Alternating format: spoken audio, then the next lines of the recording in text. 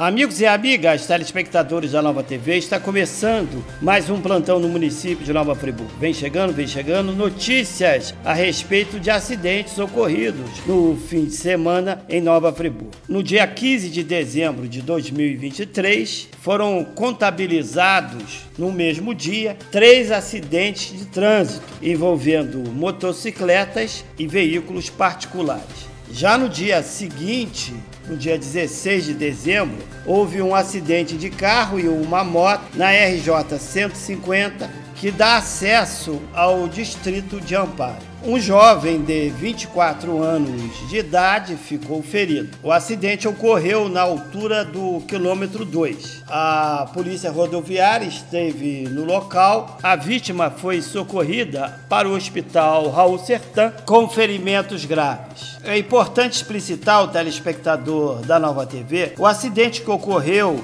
na sexta-feira, na noite de sexta-feira. Foram dois acidentes o primeiro acidente foi na Avenida Governador Roberto Silveira, por volta das 19 horas, na altura do bairro Ouro Preto. E o outro, por volta das 21 horas, logo na entrada do bairro Maria Tereza. Os motociclistas foram atendidos pelo Corpo de Bombeiros e também encaminhados para o Hospital Raul Sertã. Fica aí a advertência para todos os motociclistas a fim de que tomem o máximo de cautela em nossas vias públicas, porque não temos campanhas educativas na área do trânsito. Os agentes de trânsito são pouquíssimos, né?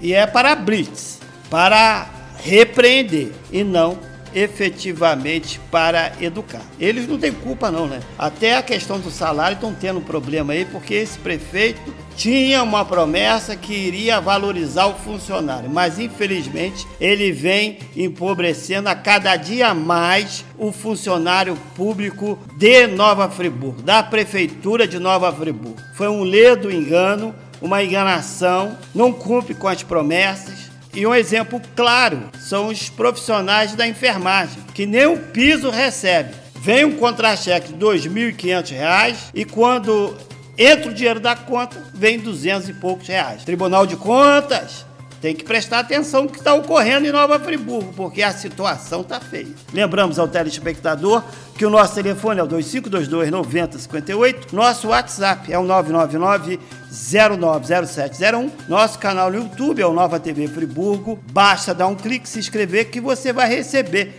diariamente notícias de Nova Friburgo e região. Nova TV, nossa força, nossa voz.